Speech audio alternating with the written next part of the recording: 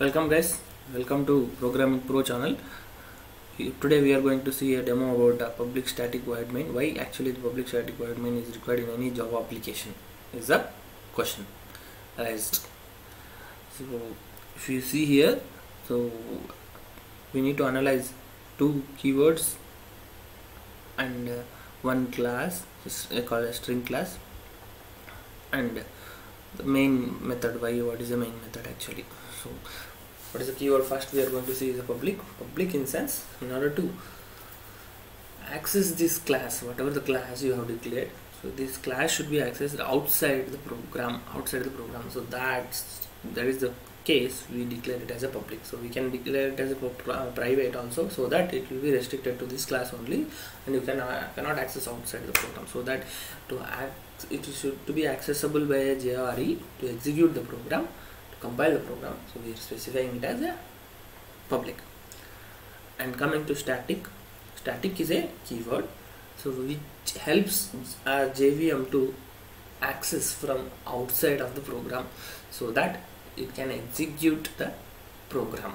It can execute the program so rather than giving if you don't give a static so you need to create an object and access a method in a normal java program. So you need to create an object and then only you can access it. So rather than that uh, to give a access direct access for a JVM we are specifying it as a static. And main is a function. So main is a blind convention like to JVM so whenever there is a main method inside a class so it is ready for an execution of a Java application. Execution of a Java application.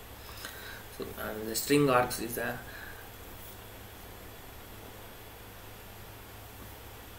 argument so which we can pass from the command prompt.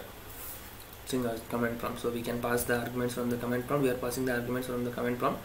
So if you observe here so when I say so we are giving you a programming language demo and we are printing our output also as public static void main inside the class. So how we are printing that i'll show you. So rather than before going to that we will edit the output. We'll try to save demo today. So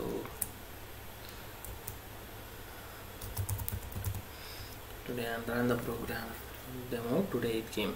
So how we are printing from the we are looping the string args and we are printing. So that's it guys. So thanks for the time. So please subscribe to the programming channel for more videos. Please subscribe and share it. Thank you